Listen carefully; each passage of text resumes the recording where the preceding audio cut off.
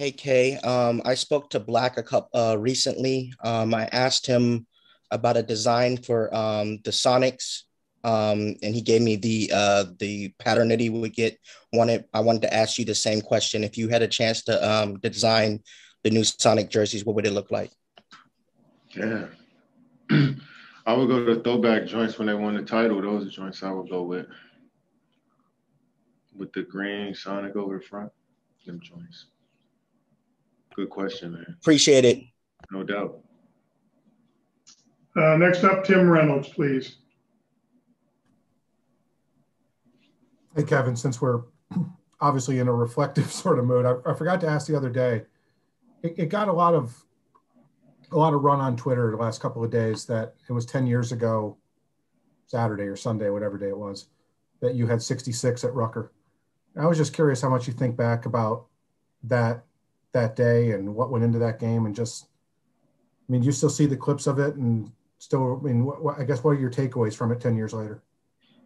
Um, just as I get older, just uh, grateful for that opportunity. Um, I didn't know what I was doing in the moment, but for it to still last 10 years later, um, that shows how special it was. And um, that's really what I've been about is creating moments with basketball fans. Um, in the streets, in the arenas, overseas, uh, just trying to showcase what I can do, and hopefully people feel something when I when they watch me play. So it was one of those moments that uh, I'm grateful that, because a lot of times, you know, opportunities come and go, and you may you know breeze past them, but that one I took advantage of. So I'm glad I did I did it back then. Uh, and it's, and it's, it's pretty cool that it's still it's still at people's top people's minds, you know, around this time it was such a weird time, Kevin. Like, it, were you hesitant at all about going out there and you know, you know, taking the risk of you know playing out outdoor and all that?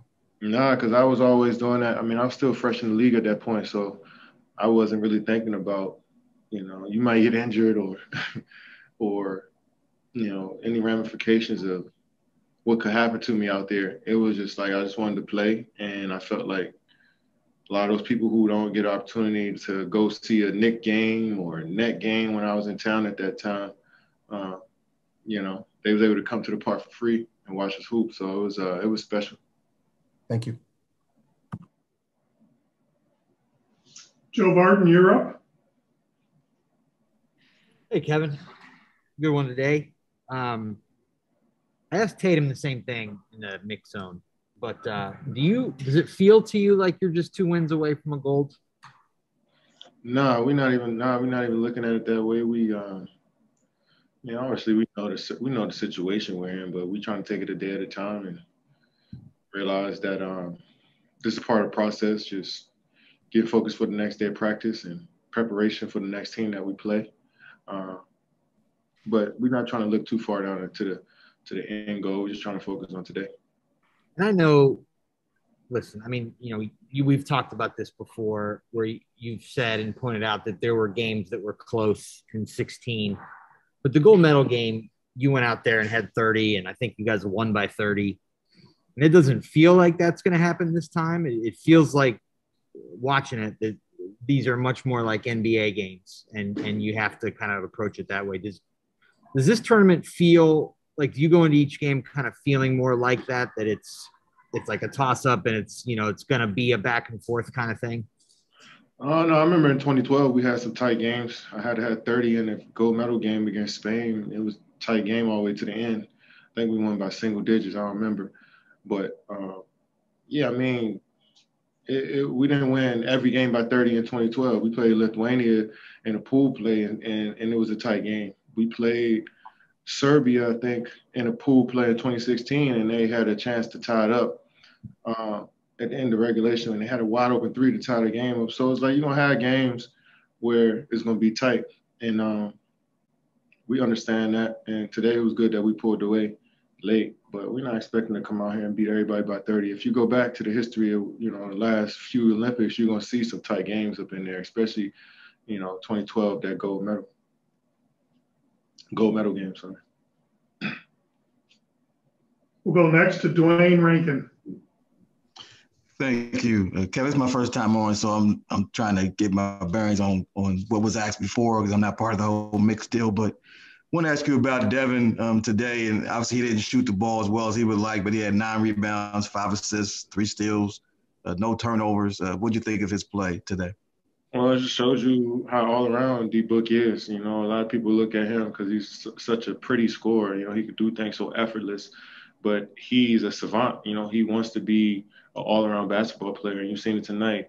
You know, grabbing rebounds, going in there and mixing up with the bigs, switching guarding out on the perimeter, making passes, and then he made some timely shots for us. Uh, so Book is Book is an all around player who's only getting better. He's 24, I want to say, and right. we about this on the bus. Like he handles himself like a 35, 36 year old vet, you know, and that's only going to bode well for him in Phoenix going forward. And tonight was one of those nights. You're not shooting the ball well. That's not the whole game, and guys understand that. He's one of those. He's one of those players that can affect the game in every single facet. And you know, and, it's, it's, a special player. Quick follow. There's got so many guys that are first time in this. Um, as they as you guys get closer and advancing, are, are you getting more questions from them on what to do, what not to do, or do you feel like they got it figured out right by now? It's basketball at the end of the day. These dudes are high IQ players. Like, you know, it may be a different setting and rules may change as far as you can sit in the lane, but like we all played in college, we all played in high school, so we understand what that's like. Um, but nobody's sitting around asking me questions on what's about to happen. You know, it's basketball. You know, and all of us, um, you know, have got years under our belts and played in different systems and schemes and playoff games. Where you got to prepare different ways. So the IQ of these guys is, you know, is at the same level. We all at the same level. I feel. Thanks, Kevin. Terrell Thomas, you're up. Thank you. Uh, hey, KD, uh, Terrell Thomas, These Urban Times. Two questions for you really quickly. Uh, from a music standpoint, I want to know, you were one of the first gentlemen to actually hear what Kanye West is working on with his Donda uh, project, with his Donda project. Uh, of course, he hasn't put it out yet, but uh, as he's still working here in the land at Mercedes-Benz Stadium, has he hit you with any new music to kind of listen to while you're in Tokyo? And nah. Go ahead, my bad. Sorry for cutting you off. Oh no, you're fine. You're fine. And, uh, from a production standpoint, did you guys? I know you dibble and dabble in the music. Did you guys uh, share any gems with each other that night? No, of course not. That's Kanye West. He's a master at his craft. I mean, I was just sitting back and just taking in the vibes, listening, and uh, he's so humble that he was playing for everybody. Just wanted to hear that input. He was asking me what songs that I like, and I was like, "Well, are you you, you asking me like, you know?" I, the ones I like, you're gonna put them on the album. So and he actually did that in that listening party. The joints that I like, you know, I heard him at that listening party. So I'm sure he's just making alterations to that to the album, and it's gonna be incredible when he drops it. And then from a basketball standpoint, I know you're busy in Tokyo doing things with USA basketball, but did you have a chance to see uh, what your Brooklyn Nets did in the draft recently? Yeah, yeah, very excited about the young fellas that we got. Um, well, I don't want to call them young fellas, the men that we drafted. Um, you know, Cam and, and Day'Ron, and then we got three second round picks and um and Zegarowski, am I saying his name right? Kessler and um, I forget the last pick that we had. Um, and uh, uh, the guy from Florida State. Sorry, I'm missing his name right now. Uh, so I'm looking forward to those guys being a part of the program and um, you know, looking forward to learning and, and and and helping them grow as much as they can and welcoming them to Brooklyn and you know, I can't wait to play with them. Thanks for your time, KD. Next up is Josh Coyne. Hey, Kevin. Josh Coyne of Double Clutch UK. Uh, I spoke to Zach yesterday about the collection of coaches you guys have at your kind of um, at your service on, on, camp. You have been in this situation before, uh, obviously in the Olympics, and you've dealt with a lot of NBA coaches. How valuable is it to have so many minds on camp and uh, you know what, what what benefit does that have to you?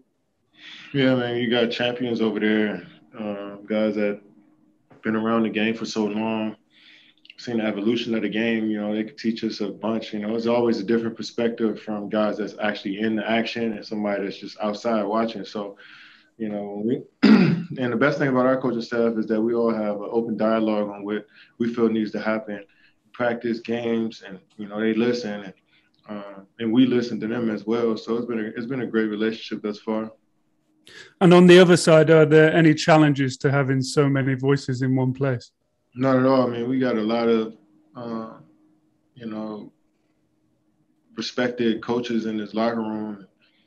Uh, they know exactly how to deal with, you know, this caliber player every day. It's not like they just on us every day, preaching stuff to us every day. They kind of letting us be who we are, and then when the time is right, they speak up and hold us accountable, and that's only going to make us better. Thanks, Kevin. Good luck. Next up, we'll go to Tyler Boronsky.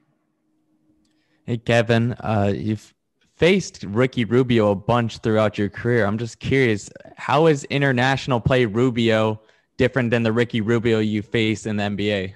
Yeah, they're asking him to score more here. You know, in the league, um, feels like teams that he's been on um, want him to run the show a little bit more and get guys involved. And that just shows he can play. He can play in different styles, and he's a versatile player. And come out here and score the way he was scoring. I mean, the shots that he was making um, remind me, you know, showed that he had that scores mentality. You know, one leggers off the off the glass, get into the paint. You know, shooting deep threes. You know, so. Uh, you know, Ricky is a is a true pro, and he's a reason why so many teams want him uh, a part of their program year after year. And you know, he's just showcasing that he can do more than just be a setup guard. Next up, we'll go to Samuel Rodriguez. Kev, since coming from Vegas, can you talk about how you guys have grown together as a team over this time? And then can you talk about how big it was for your Nets to re-sign Blake Griffin today? Yeah, I think uh, you know the two weeks that we had in Vegas was key. We started to figure out, well, just first of all, getting acquainted with each other and kind of getting to know each other a little deeper, and and then uh, you know as we start practicing more and going through those you know losses and ups and downs, we start to understand our roles a bit more, and coach started to understand the rotation. So I think uh, you know you mix all of that in the pot, you know you start to build a real team, and that's what I feel like we are at this point. Uh, guys are still growing. I feel like we're still getting better, you know, and so it's that's that's uh it's it's important, especially around this time. Um, and I have Blake back. I'm so excited. I mean, as soon as the season was over with, I was t- I was, you know, telling him that we wanted him back and telling him that you know we should try to do it again. And I was glad to see it, you know, get done. Thank you. Okay, we got time for two more questions. We'll go to Rafiq. This is Rafiq with Nothing But That Sports Talk. Congratulations on the win. Unfortunately, the team did get off to a tough start when you were trailed by as many as 11. What did you guys have to do in order to actually turn the tide and get you to that 29 points that you always have in each and every game throughout your career, whether it's the NBA or in college or in international play?